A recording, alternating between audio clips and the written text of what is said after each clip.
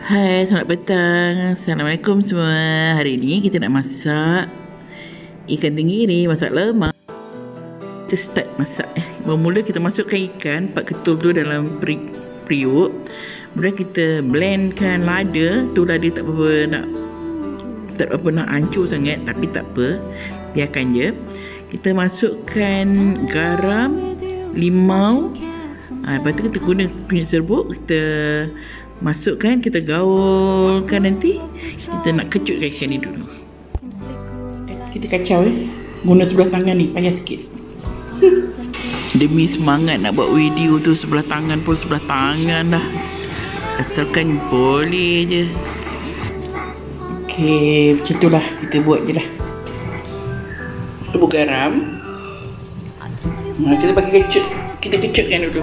Hari ni kita campur ikan dengan peria katak yang pahit ni. Tapi kita telah rendam dengan garam.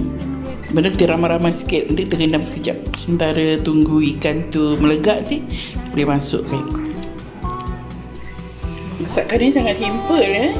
Kita cuma masukkan garam kunyit dan lada. Kemudian kita blend kita masukkan gaul-gaulkan sikit kita hmm, gaul-gaul Lepas kita rendam tadi, kita basuh dan kita tuskan.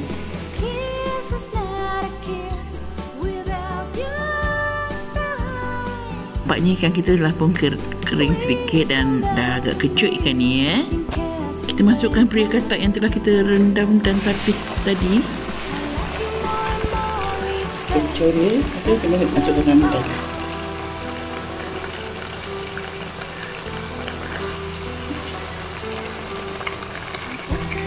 Masukkan asam limau eh.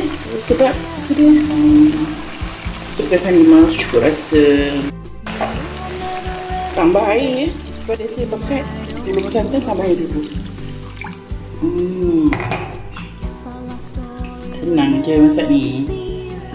Tambah air.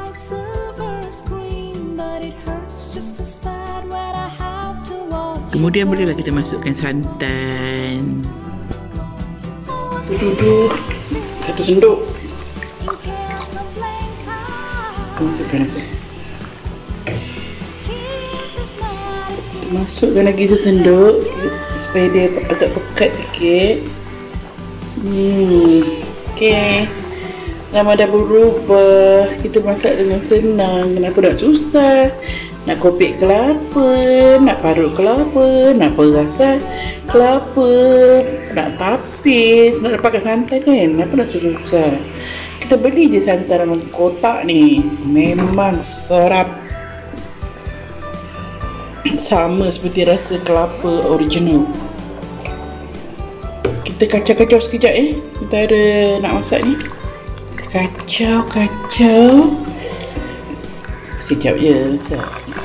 Hmm, segar ikan ni cantik baru ikan baru baru dari naik okay.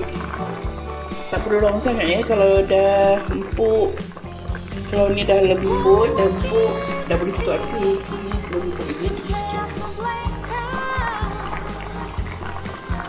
Okey, siap. Toge masak tahu sos tiram.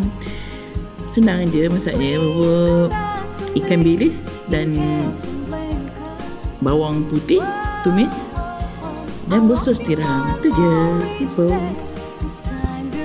Tara siap. Hmm. sedia untuk dihidangkan.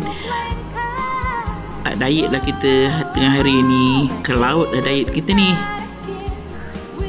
Tak apa sesekali masak lemak ni memang luar biasa. Selera makan. Payah nak berhenti makan kalau masak lemak ni. Memang sedap. Goes by